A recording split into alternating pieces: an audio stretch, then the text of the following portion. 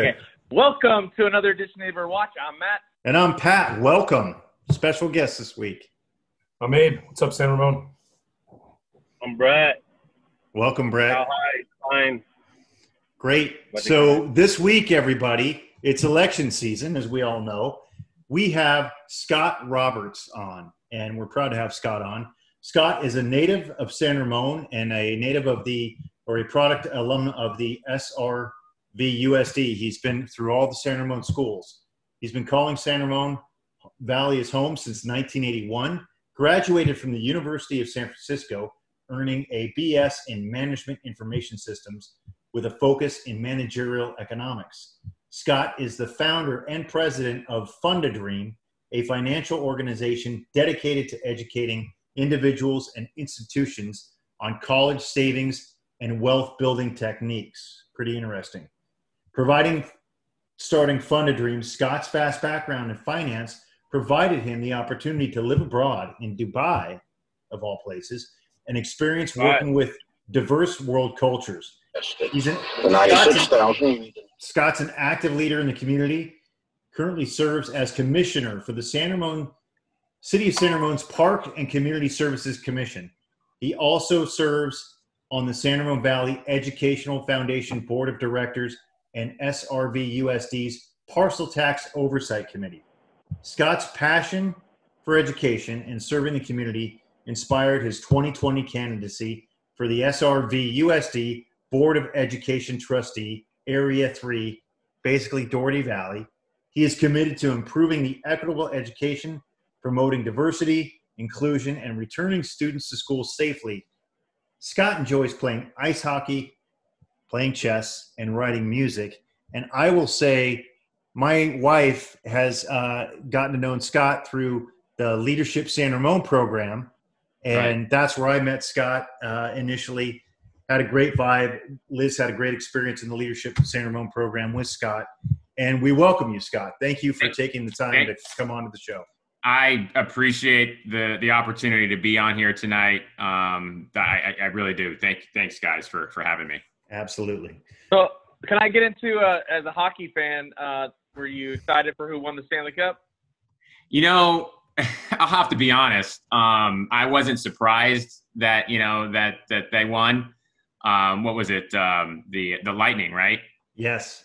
Um, they've been a good team uh, for the last several years now, and you know, I, I kind of felt like they were gonna they were gonna get they were gonna get there at, at, at one point. Um, they've just been a, a fantastic team. Um, but you know, I'm just I'm just sad about you know our sharks, and uh, mm-hmm. you know, and so once once they were out, I kind of felt I wasn't really paying much attention anymore. um, I, I had to ask. Right. Yeah, no, no, good, good question. And then actually, once the pandemic hit, I haven't been playing myself, so it's it's, it's kind of a bummer lately with that. We had a Dodgers fan that wasn't paying attention to the shark. Okay, never mind well, hey Scott, since uh, you know we appreciate your time, and after that intro, why don't we get right into uh, a little bit more about what you, you know, what you're about, what your intentions are, why you're inspired to run for this position, and some of the things you hope to accomplish, and then we'll kind of have some questions between the guys. Sure.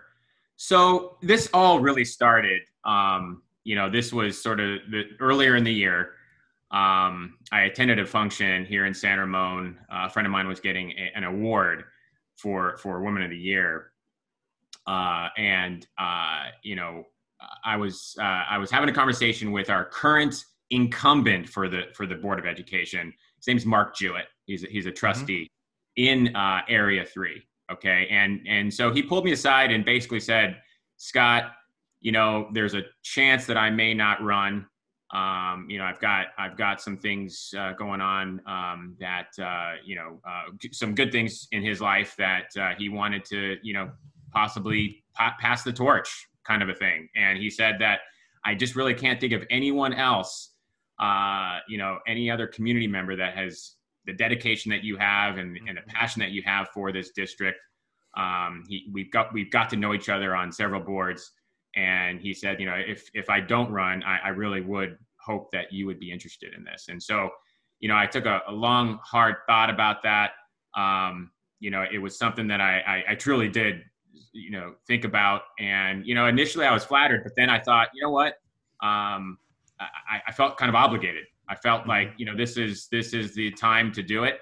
Um, you know, we're going through this crisis, and uh, based on all the experience that I've had uh, here within within our community, within the school within the school district, it was it was time to step up and and, and uh, help us get through these uh, tough times. So um, that's kind of where it started. Um, and uh, so then I launched my campaign um, on on uh, a couple a couple issues here. So again, going back to what I was saying, mm-hmm. um, you know, my I've been I've been serving for several years now on the uh, uh, board of directors for the San Ramon Valley Education Foundation, um, as well as the district's parcel tax oversight committee. And that oversight committee really is is a group that provides this oversight and transparency on district expenditures, right? Okay. So um, so it's it's it's it's been a, a great board to be on to learn a lot about um, about the district. Um, but you, you, guys were talking about sort of my my my you know, my my platform, right, and my mm-hmm. initiatives. And so um, I've got I've got several. Um, you know, being a part of the district, I think that's given me an opportunity to understand some of the key issues that we're we're facing uh, within the school district one of them is obviously we're in this we're in this crisis right we're in a pandemic right and and there's there's just there's this um, a lot of controversy around whether or not kids should be back in school or they should be at home you know doing right. the distance learning right i'm sure you guys have have been hearing all about that um, you know personally uh, I want to I want to get kids back in the classroom as safely as possible. Um, so so that's that's something that's really important to me, and I'll tell you why.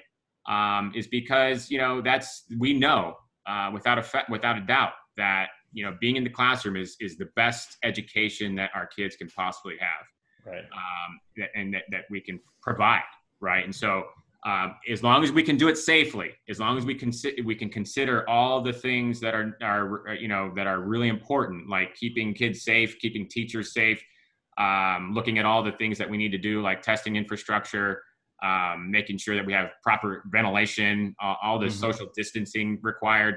Um, but I think it could happen, and, and, we're get, we're getting there. Actually, we're getting there uh, in a in a uh, sort of a hybrid situation soon.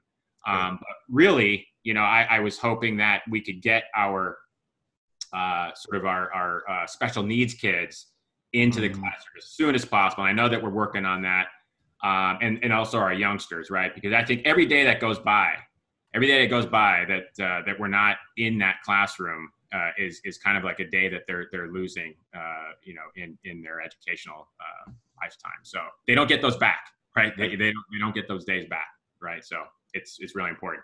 Other things that I'm working on, uh, you know, it, you know, for those kids that decide, hey, uh, we're we're you know, the families decide we're not going to go back to the classroom we we do need to make sure that the the remote learning situation is as equitable and uh, efficient as possible. So we need to we need to continue working on that, making sure that uh, um, teachers are are given all the resources they need, that the students given all the resources they need, and that we're not forgetting about that that group of students.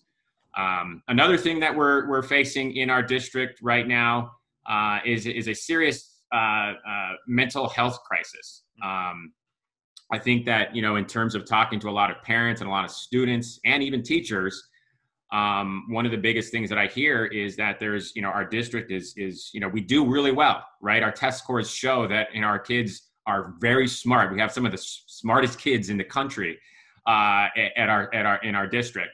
Um, but what comes with that is a lot of stress, a lot of uh, competition. It's highly competitive in our, in our, in our district. So, um, so we do need to work on that mental health situation, uh, mental wellness for our students. Mm-hmm.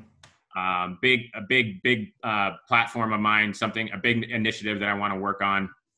Uh, and again, you know, I, I, do think that the the district has responded um, in a pretty good way um, in in, uh, in, a number of ways. I, I think we've come up with these. They're called PLIs. They're called uh, their uh, personal learning initiatives essentially. Um, and you know, this gives students a lot of flexibility in their day. Um, it kind of allows them to create this, uh, create their own schedule, right? Create uh, create some flexibility. So those that want to go out and do a, more than what they need to do, they can do it. Uh, but for those that want to sort of um, have a little bit more of a relaxed schedule um, in their day, they can do that too. So it, it creates this, this this flexibility, and that in turn is supposed to help reduce a little bit of the stress that that, that the, these kids are facing. Um, and then, of course, um, you know, we we did respond. The district did respond with a uh, a mental health task force um, that has these several initiatives. Actually, um, a couple of them are are are big a big deal in my opinion. Um, they have uh, basically two mental health facilities uh, that they're that they've piloted at two of the high schools, one at Cal High and one at Dougherty Valley. Mm-hmm. They're going to come up with two more at the other two high schools, which which are I think which is fantastic.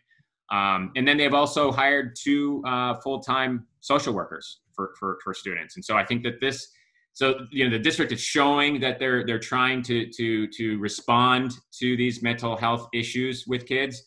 Um, but you know, the the the the questions that I'm getting from from the community are, you know, well, you know, a lot of these initiatives were were created pre-COVID, right? And even even when kids were in school pre-COVID. Mm-hmm uh, we didn't really have a lot of the data that told us uh, how well that these initiatives were working right we didn't we didn't really understand in fact some of the some of the parents and teachers were telling me that um, with with like the sandy hook uh, initiative from one school to the next we weren't really sure how well it was was uh, was responding right we didn't know how well it was working um, and when we actually go back to school after you know post covid um, we're not sure how, how well it's going to work out. So what I was thinking is that since we don't have a lot of the data, we're not.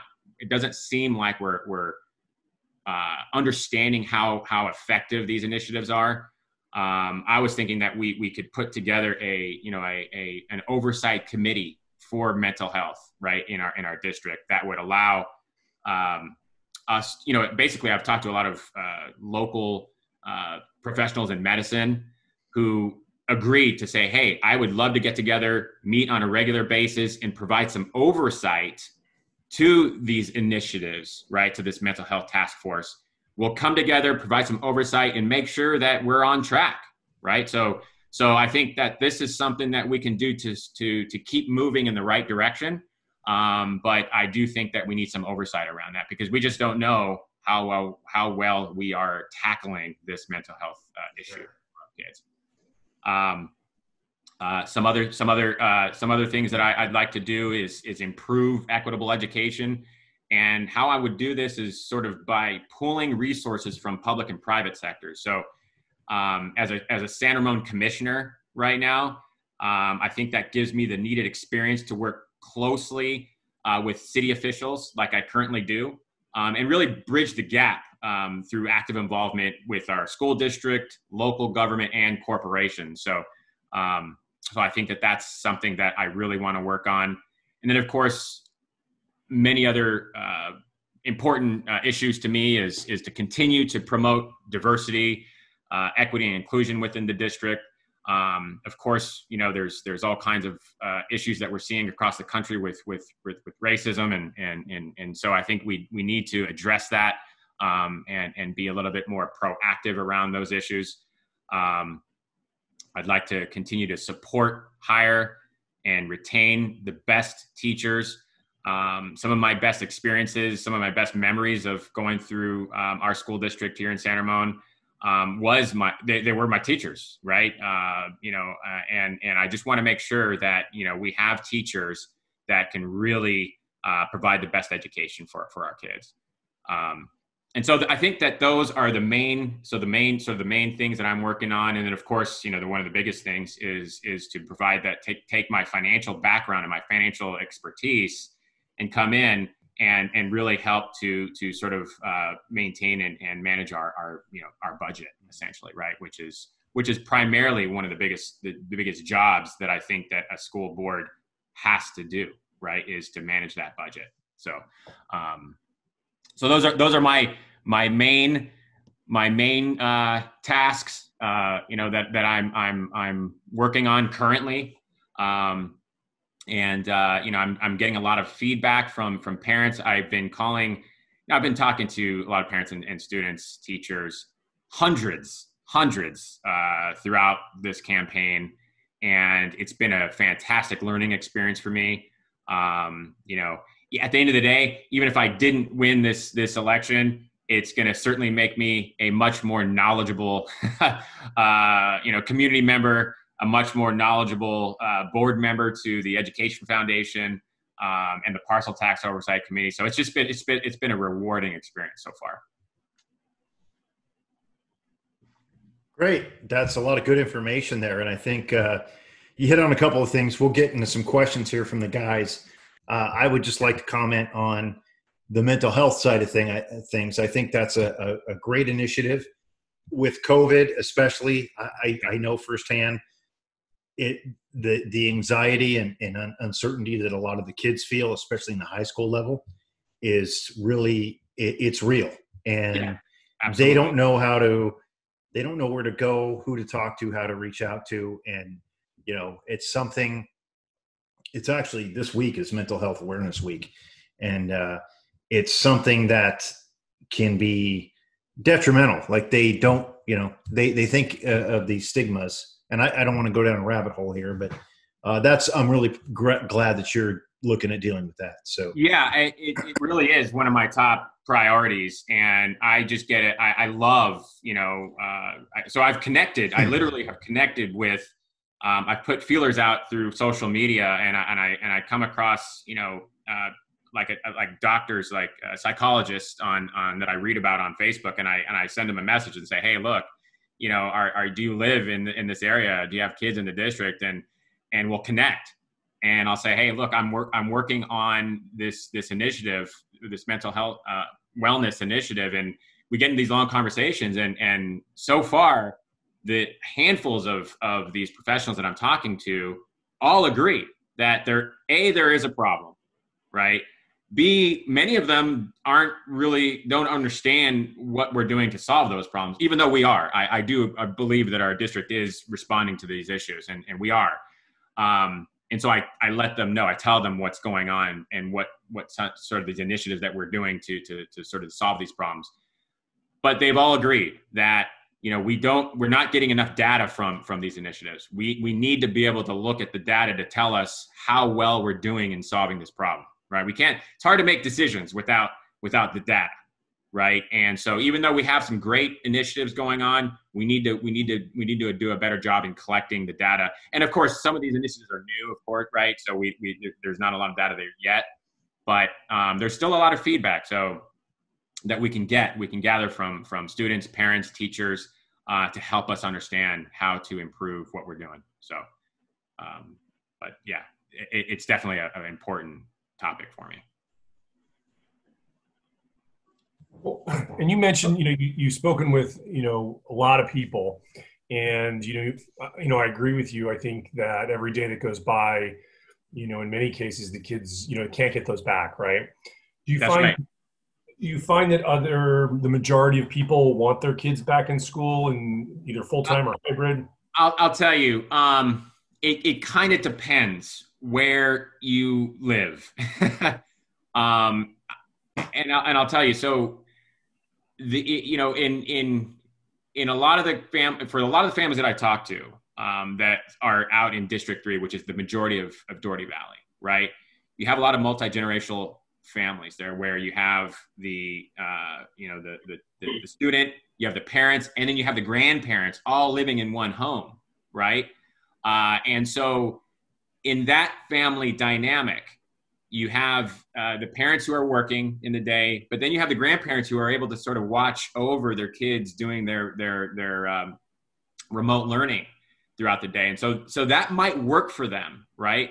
And there there is a lot of fear. I, have you know I talked to a lot of those families out there who you know who sort of um, have a lot of fear around around COVID, and uh, mainly due to the fact that they don't want their kids to come back home and, and give it to their grand their grandparents, right, who are more who are more vulnerable to this to this disease. So uh, so you have that. In fact, I was just talking to a kid, uh, a student the other night who was saying that he would love to be actually he would love to be back in the classroom. He he misses his friends. He he he would love to be in the classroom, but he lives with his grandparents. um, and you know he just couldn't bear bear the idea of his of his you know losing his grandparents to something that he brought home, right? And so so you do see that. Um, but I would tell you though that the majority of the people that I talk to, and even teachers, even teachers that I've talked to, want to get back into that classroom. And so, you know, I, and I truly believe that being in that classroom is is the is the best way we can educate our kids. Mm-hmm. Um, and of course, obviously, we have to we have to do it safely, yeah. and we also have to give that that that option for those who who won't go back to, to, to class. We have to give them that option. But I think that um, the majority of those families do want to get back in that classroom, and I think it's important that we we we uh, prepare as much as possible and get and get going, you know, on that. So because mm-hmm. it's coming, right? We're, we're we're getting there. Right. So I have a question. How do you address, and you know, this is going to have lasting effects, like for the states that are already doing in person, and then you know, our kids are home, right? So when it gets to later in their high, you know, when they get to high school and they're trying to apply for colleges, do you feel like the kids are like right now? My son's a senior, and I've got a, a freshman in high school do you feel like if they don't get to class, then they're going to fall behind these other schools or these other well, kids? Uh, I, you know, I mean, if we were doing this, you know, uh, if this were going to happen for years and years, you know, I, I, I, I, I might be a little bit more concerned about that, especially mm-hmm. if we didn't do anything to improve uh, our our situation at home, right, in terms of our, our, yeah. our, our uh, remote learning. Um, but you know, I, I don't think there's one school district in this country that were that that were you know that that that knew that this was coming and had a plan for for COVID. Um, and so I don't think there's one district that responded well to to, to COVID nineteen, right, to this pandemic. And um, but on the flip side to that, I think that you know our district. Um, uh, once once we figured it out, once we figured it yeah. out, that that next school year that started, right? I think that that uh, we we did we did have have things going uh, in, in the right direction, and you can mm-hmm. definitely tell with the feedback that you hear from from parents and students that it was like night and day, right? That we we we we got it figured out, um, and and you know so I, I don't think that, and of course if, if in certain situations, especially like for our special needs kids and our young kids, um, I, am more concerned about them because the like I said, the the, the more they're not in the classroom, uh, getting that extra attention from their teachers, yes, the more they're going to fall behind. So those younger kids and those kids with special needs, absolutely, I, I, would I would be more concerned about them in a longer sort of in a longer situation, uh, which is why I think we we really have to get them into the classroom right away. Um, but for our you know our older students, um, you know I think they're pretty resilient. Um, I've talked to many that, you know, that you know either you know they're they're doing okay um, with remote learning. So um, some of them are actually um, enjoying it, to be honest. Yeah. Um, know, they they are missing that that interaction with their with their friends of obviously, mm-hmm. uh, and they want to get back to that. And, and you know, part of the problem here is that the kids, you know, are are missing that social emotional you know they're they're they're missing that interaction with, yeah. with their friends. That part of part of going through school, part of uh, some of the skills that we learn are those social skills. Oh yeah. Mm-hmm. And and and if we're not getting those early on, you know, what does that what does that mean right down the road? Right. Uh, so you know, it, it's not just all about you know the, the the curriculum and and and what we're getting in our in our books and our studies. It's yeah. How do we interact with other people? Sure. Um, and if we're not doing that, we're, we're missing out on a whole piece, a whole very important piece of our development. Right. So, so, yeah. um, so that's a, that's a big, that's a big deal. Um, uh, and again, it's just it's another reason why we have to we have to do what we can to figure out how to get, get, get back in the classroom. So great.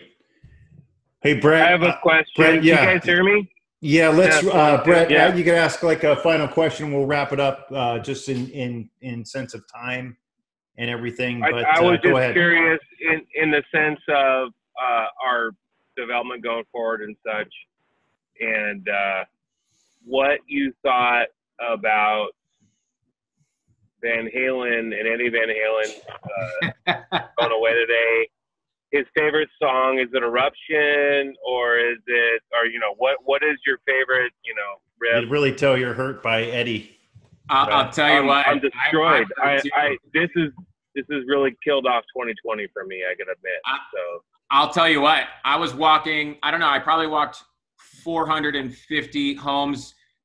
I hope my boss isn't, you know, listening to this conversation, but uh, I walked about 450 homes today, passing out flyers. And when I read that news this morning, I dedicated my walk to listening to Van Halen all day, pretty much. Um, and what, what I was mostly listening to, I think, because I have on my Pandora, it's the the 1984 album oh yeah. which you know i mean I, how do you not how, how is that not anyone's favorite all-time album that, it, it's mine Yeah. Definitely. No, it's one of the tops. and i can't think of a song cover. on there that i couldn't listen to five times in a row like it's just Except Um, Matt's because he was three. but well, uh, yeah no absolutely and and yeah i'm very sad about that too i was actually shocked i didn't even know that he that he had cancer yeah, it was a surprise. Um, He he had Yeah, actually yeah he so. he had cancer for quite a while. He'd been dealing with throat cancer and back and forth, and it I, you know apparently it spread. and, and it sounded like it's sad. he's had it it sounded like he had it for a long time yeah So, yeah uh, he was a big big smoker, big smoker. Right, right, right. Well, I'll tell you, he he certainly had, you know, an amazing, amazing life. Yep. Um, and right, he's I think yep. listed as one of the one of the best uh, guitar players ever. So Mhm. uh, you know, Yep. he's, he's just amazing. Oh. Okay, well, We'll thank you, that. Scott, for joining the Neighborhood Watch. We really appreciate it. And good luck to you uh, in the election. And uh, thank you for joining us. Thank you guys. Yeah, Again, Scott, thanks for coming on. Love yeah, I having you. Appreciate it. Best of luck. tonight.